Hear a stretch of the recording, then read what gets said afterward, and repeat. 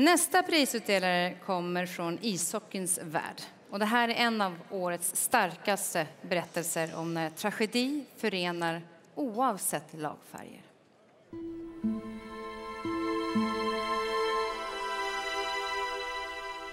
Leksandsspelaren Tobias Forsberg är allvarligt skadad och har idag förts till Akademiska sjukhuset i Uppsala.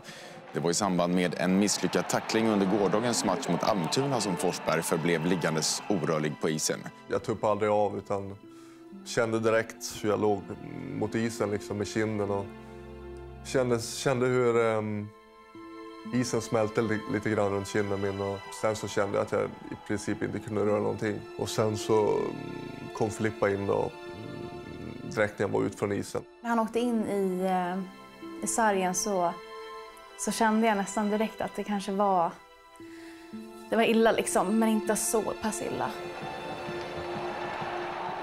När jag vaknade upp efter operationen då eh, så kunde jag väl röra min vänstra arm lite grann.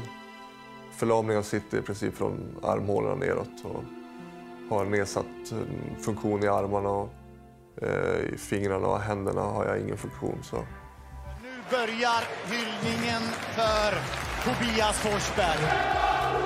Bekämpa är vad de skanderar. Det här är bland det vackraste idrotten har att erbjuda. När man väl fick se vad, vad eh, olika lag hade gjort och support och allting så det, det var så mycket kärlek och det var helt otroligt faktiskt.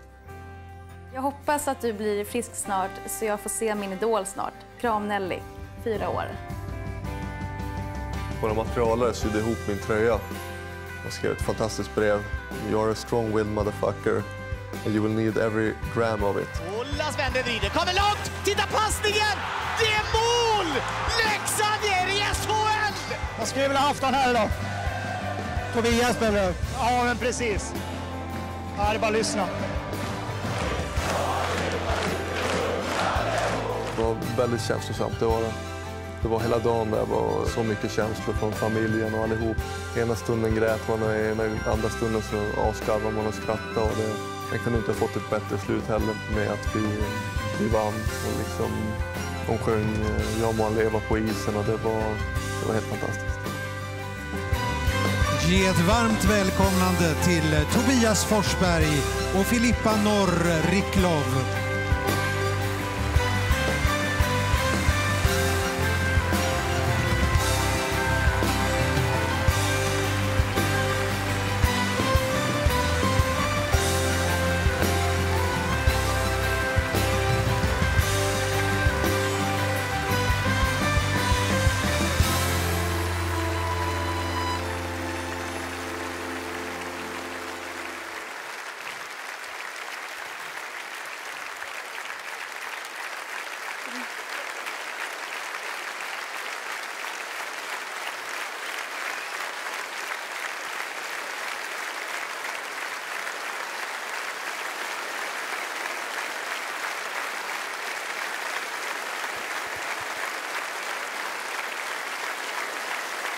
Tack.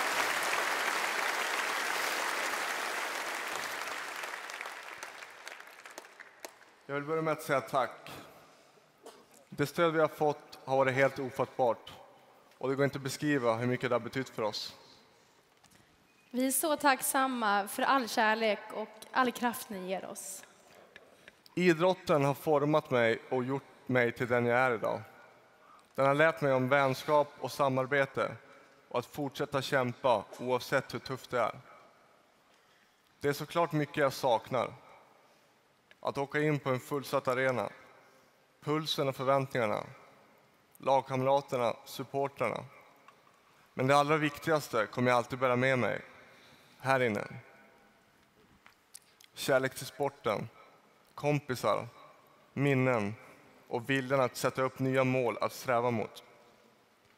Ibland är de här sakerna lätta att glömma bort när man är mitt uppe i alltihop. Så ett tips till alla fantastiska idrottare här ikväll. Glöm inte bort att njut längs vägen. Ni har världens bästa jobb.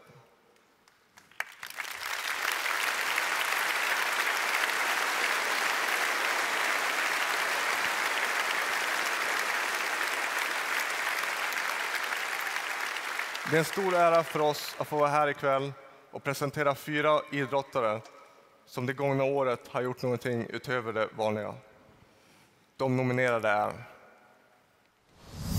Angelica Bengtsson gjorde sitt livs tävling i stavhoppsfinalen på VM. Sista försöket på 4 och 80. Aj, aj, aj! Åh, hon reser sig. Det var väldigt skönt att se. Reservstaven gick inte att hitta men dök i sista stund upp bland en konkurrentstavar. Efter kaoset fanns ingen tid att tänka. 4 och 80.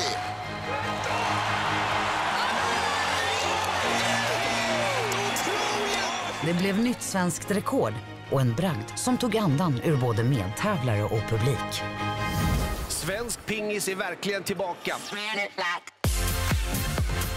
Mattias Falk är den första spelaren från ett annat land än Kina att nå VM-final sedan 2003. Sug på den! I finalen väntade regerande världsmästaren Malone. Bra gjort, 6-4. Falk utmanade men kunde sedan inte hålla emot. Mattias Falk Silver är den första medaljen för en svensk i singel på 22 år. Stina Nilsson. Efter den svåra lårskadan var det ingen som trodde att Stina skulle köra VM. Men efter en bragdartad återhämtning kom hon till start. Fantastiskt för Tina Nilsson. Man blir tårögd av glädjen. Hon följde upp silvret med guld i sprintstafetten.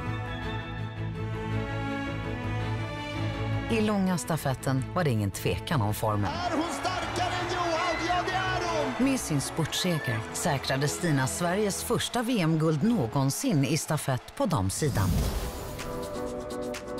Hanna Öberg är regerande olympisk mästarinna på 15 kilometer.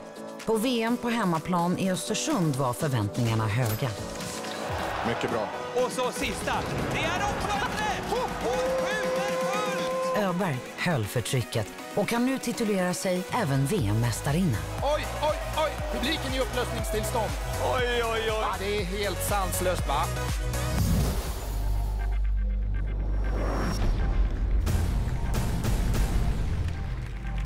Och vinnaren är Mattias Falk. Mattias Falk lyckades med det omöjliga att bryta Kinas totala dominans i bordtennissporten och ta sig till final och VM-silver. Sveriges första medalj i ett VM i bordtennis på över två decennier.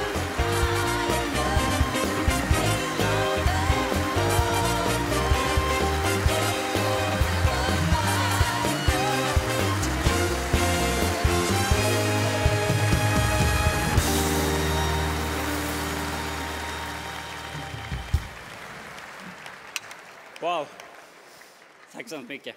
Jag är väldigt glad och tacksam över att vinna det här priset. tycker alla de nominerade har gjort en fantastisk prestation. Jag är också väldigt glad över att pingisen har fått lite mer uppmärksamhet och syntes lite mer efter min prestation. Sen vill jag passa på att tacka alla mina coacher som har hjälpt mig genom alla mina år, alla som finns runt omkring mig som har hjälpt mig att prestera på topp. Jag stort tack också till min fru som alltid funnits där vid min sida och alltid stöttat mig med och motgång. Och såklart även till min lilla dotter och mina nära och kära. Tusen tack allihopa!